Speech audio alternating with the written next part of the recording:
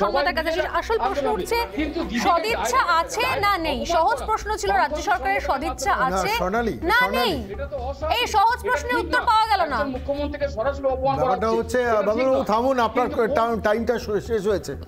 ব্যাপারটা হচ্ছে স্বর্ণালী বাদলবাবুকে লিখতে বলা হয়েছে গরু রচনা লিখছেন নদীর রচনা। এখন নদীর চরে গরু কিছু খেতে যায় সেই সব লিখছেন। যাই হোক সব অপ্রাসঙ্গিক কথার উত্তর দেবো না আমি মূল প্রশ্নে আসি। প্রশ্নটা হচ্ছে যে যিনি টাকা খরচ বাদলবাবু একটু থামুন। আপনার কথা অনেকক্ষণ আমরা শুনেছি। না। আবল তাবল কথা বন্ধ করুন।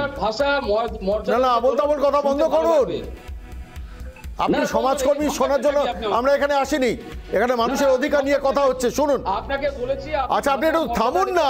ওফ অন্যের কথা শোনার প্র্যাকটিস করুন। অন্যের কথা শোনার প্র্যাকটিস করুন। করুন। স্বর্ণালী ওকে থামানোর ব্যবস্থা করুন। প্রথম কথা হচ্ছে প্রথম স্বর্ণালী প্রথম কথা হচ্ছে যে ডিএটা আটকাতে সরকার কত খরচা করছে? ছটা মামলা হারার পর বারবার সুপ্রিম কোর্টে গিয়ে লড়ছে। আমার আমার কাছে তথ্য আছে, বত্রিশ কোটি টাকার উপর রাজ্য সরকার আইনি খরচা করেছে। এই টাকাটা তো অন্তত রিটায়ার্ড মানুষদের ডিএটা তো দিয়ে দেওয়া যেত। আজ বাদে কাল হয়তো যারা প্রয়াত হবেন, সেই মানুষগুলোর অ্যাকাউন্টে তো টাকাটা ঢোকানো যেত। এক। দ্বিতীয়ত, আমি একটা ছোট্ট তথ্য দিই, নোদাখালী।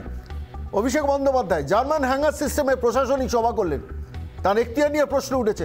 সেই সভা করতে দেড় কোটি টাকার ওপর কি করে খরচা হলো সরকারি ভেতরে হিসেব দেড় কোটি টাকার ওপর খরচা হচ্ছে, যেটা একটা হল ঘরে করলে খরচাটা হতো না। অথচ জার্মান হ্যাঙ্গার সিস্টেমে করলে। তৃতীয় কথা, আজকে এই মুহূর্তে স্বর্ণালী খবর দিচ্ছি। আজকে আমি দাঁড়িয়ে এখানে দাঁড়িয়ে বলছি, বইমেলা থেকে রাজ্যের মুখ্যমন্ত্রী তিনি হেলিপ্যাডে করে, হেলিপ্যাড থেকে হেলিকপ্টারে উড়ে বীরভূমের মাটিতে গেছেন। আমার কাছে নির্দিষ্ট খবর আছে যে শুধুমাত্র হেলিপ্যাড ইজিলি ব্যবহার করতে পারতেন ডুমুরজলা স্টেডিয়ামে এক্সিস্টিং হেলিপ্যাডটা সেইটুকু পথ বাই রোড যেতে হবে বলে উনি এই সল্ট লেকের মধ্যে বিএফসিএফ ব্লকের জমিতে হেলিপ্যাড তৈরি করিয়েছেন। স্পেশাল হেলিপ্যাড যার খরচা পড়েছে কেএমডি এর একটা নির্দিষ্ট ইউনিটে প্রায় সাড়ে সাত লক্ষ টাকা।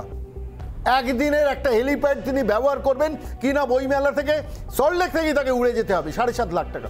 তো এই ধরনের বেহিসেবি খরচ যদি একটা সরকার বা সরকারের প্রধান করেন, তাহলে তার দিয়ে দেওয়ার জন্য টাকাটা থাকবে কোথায়? আমরা বারবার বলছি, আইনি খরচা কমান, বন্ধ করুন। এত মামলা লড়ার কোনো দরকার নেই। ঠিকভাবে প্রশাসন অ্যাডমিনিস্ট্রেশন চললে এত আইনি লড়াই লড়তে হয় না। দিনের পর দিন আলাপন বন্দ্যোপাধ্যায়ের কেসে লিখেছেন পঁচিশ লাখ পঁচিশ লাখ পঞ্চাশ লাখ দুদিন একজন আইনজীবীকে খরচা করেছেন। আবার এই এই সপ্তাহে পেমেন্ট হচ্ছে নবান্ন থেকে তিরিশ লক্ষ টাকা পেমেন্ট হচ্ছে আইনজীবীকে। এই টাকাটা তো ডিএ বাবদ দেওয়া যেতে পারতো। অন্তত দুটো তিনটে পার্ট করে ভাগ করে দেওয়া যেতে পারতো। যেসব রিটায়ার্ড বহু রিটায়ার্ড মানুষ আছেন যাদের বয়স পঁয়ষট্টি সাতষট্টি সত্তরের কোটায় চলে গেছেন কালকে বাদে পরশু তারা এই পৃথিবীতে থাকবেন কিনা জানি না। সেই মানুষগুলো ডিএটা মেটানো যেত না। আমি যা ইচ্ছে তাই খরচা করব। খেলা, মেলা, উৎসব, মৎসব তো হলো।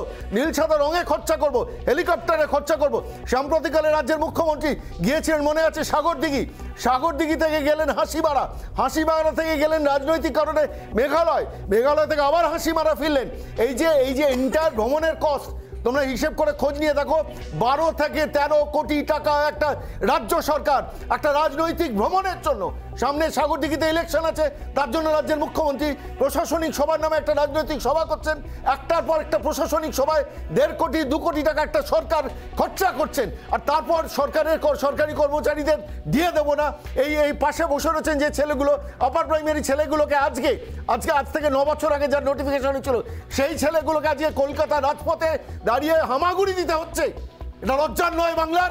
আর তারপরে বাদল বাবুরা বড় বড় কথা বলবেন।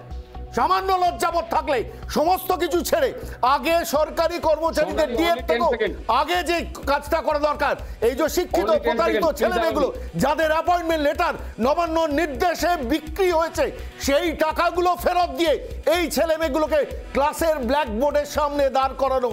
এ পাপের প্রায়শ্চিত্ত বাংলা কবে করবে জানি না। কিন্তু এই পাপের প্রায়শ্চিত্তটাই বাংলা এই মুহূর্তে চাইছে।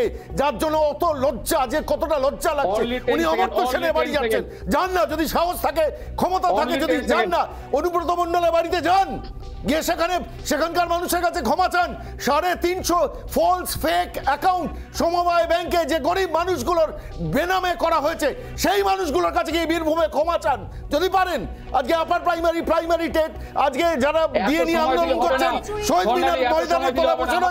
তাদের কাছে গিয়ে ক্ষমা চান। আমি- আমি আমাকে উত্তর বেশি দিনে ফিরে আসি যে এই সদিচ্ছা নিয়ে তো প্রশ্ন উঠছে তাহলে।